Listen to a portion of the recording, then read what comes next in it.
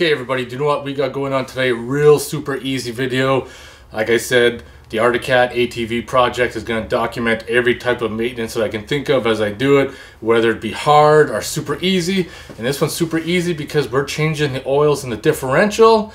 Now personally myself, I would change the oils every year because you'd be surprised how much water you do get in them, especially if you like to play in the mud. So let's get started. What we're going to use this time around is I picked up some AMSOIL ATV UTV transmission and differential fluid.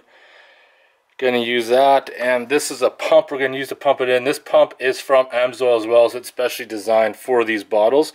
But there are pumps that you can buy that could fit regular uh, gear oil bottles as well.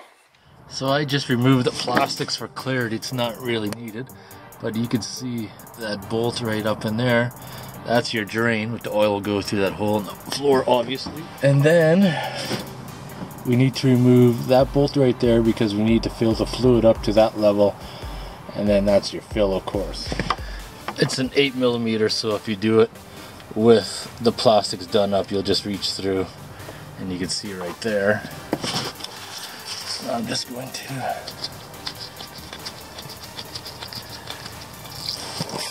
Oh yeah, we got some water in there.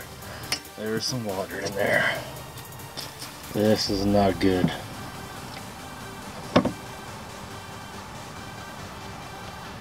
There's a shit ton of water. Now we're gonna remove the small one. Eight millimeter.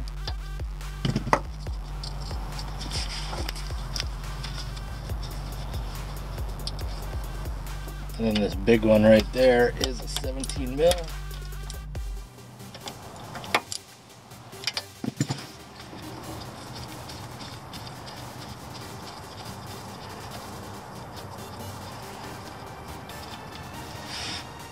Well, I guess that kind of explains why my 4x4 actuator got hooped. Differential would have been frozen and would have tried to engage. Need to take some brake cleaner, spray it inside.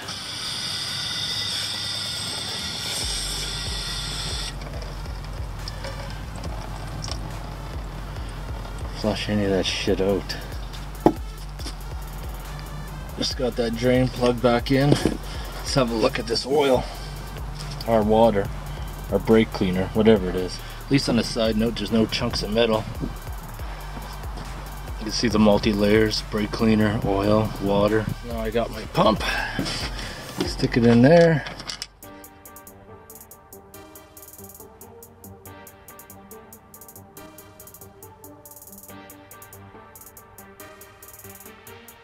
Got oil coming out of that bottom hole, so now we can seal her up.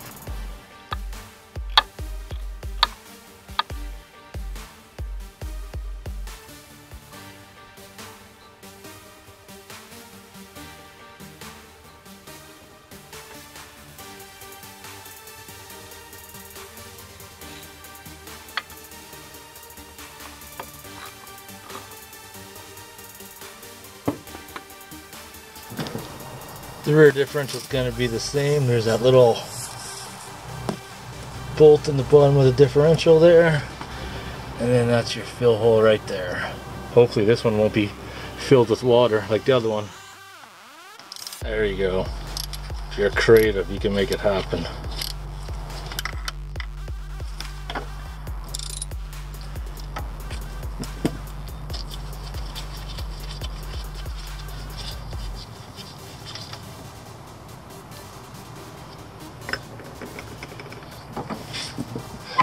Well, at least there's more oil in this one. That's pretty much got it drained. I'm gonna put the little plug back in. Might be a bit awkward if you got fat fingers, but use an extension, thread her in there, turn her in by hand.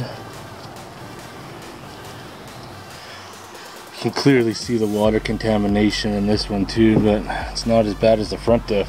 Where in the front differential it had the other plug down below and we filled it up to that point there. This one here is about eight ounces so we need to fill it up one inch below the fill mark our fill hole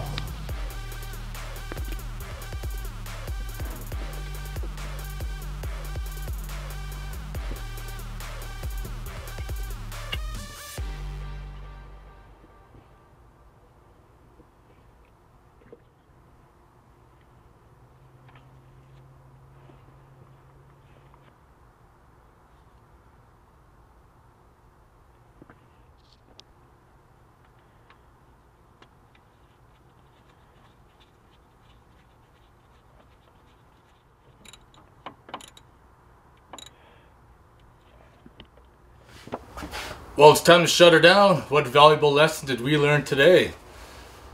We got some serious front end differential issues. Probably gonna look at doing a rebuild this coming winter. Possibly an axle swap as well. Because that dirt plate or that ring that prevents dirt and stuff from getting inside, wrecking the seal, that's hooped. But uh, mostly water in the diff and very little oil is not a good sign. Besides for that, the differential oil change is very easy. I apologize for the poor quality video because it's pretty small to get in there and uh, I tried to use the best camera angles as I possibly could. Anyways, I hope you guys enjoyed the video. We're gonna ride it like this until probably winter time and then bring it back inside, pull the differential out and rebuild it. If you guys have any questions or comments, post them below. Otherwise, I want to thank you guys for watching.